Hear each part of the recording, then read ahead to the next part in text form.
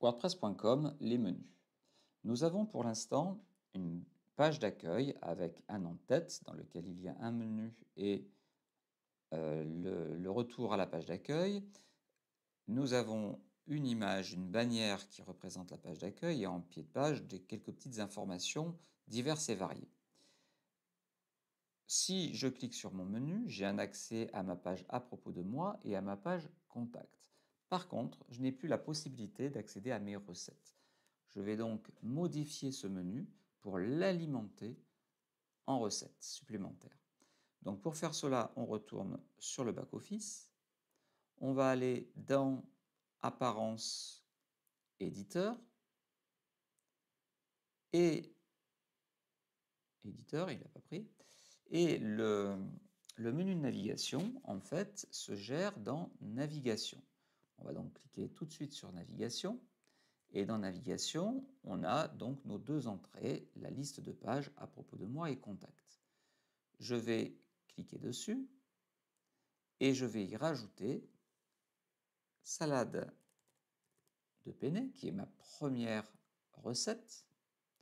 Je vais également rajouter croque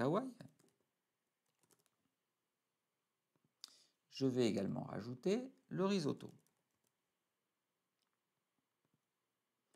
J'ai ainsi l'intégralité des pages que j'ai créées.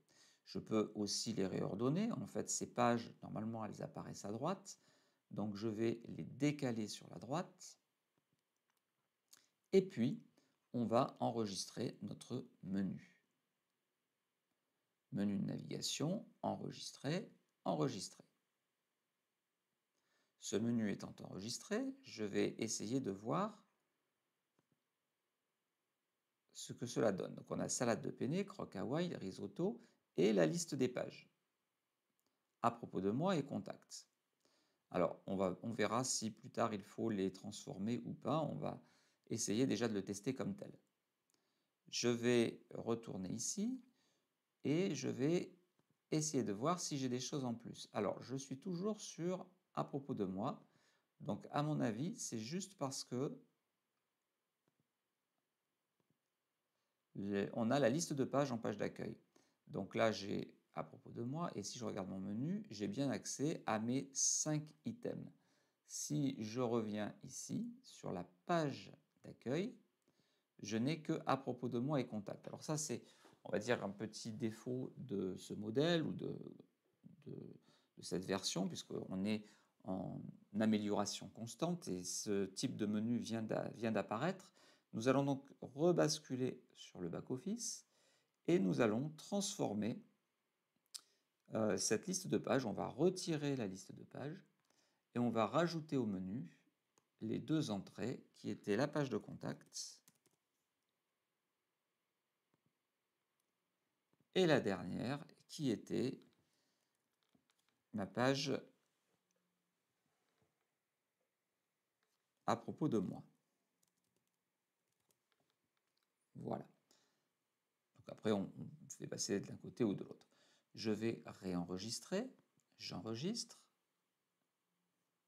Et on va voir un petit peu ce que cela donne. Donc là, il y a le cache, hein, parce que j'ai encore des choses qui n'existent plus, qui ne sont même plus présents. Donc on va essayer d'afficher les contacts. On va afficher le à propos de moi. Et on va revenir ici. Alors, ça c'est toujours pas réactualisé. Donc, je vais repasser là. On va s'assurer que c'est bien enregistré. On va revenir. On a bien le menu de navigation qui est ici. On va reculer et on va retourner sur notre page d'accueil où là, effectivement, sur la page d'accueil, on a nos... Non, pas la page d'accueil. Les modèles page d'accueil du blog. Et dans ce modèle, qu'est-ce que l'on a modifié?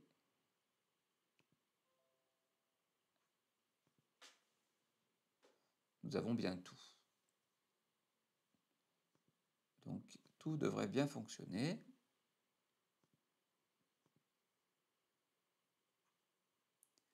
On rebascule sur le menu initial.